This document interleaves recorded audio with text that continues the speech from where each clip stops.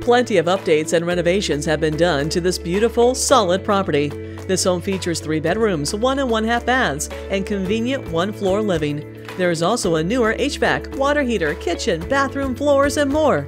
Outside, you can enjoy the wonderful backyard and a spacious garage. Think this is the perfect home for your family? Check it out today by calling Eric Standish.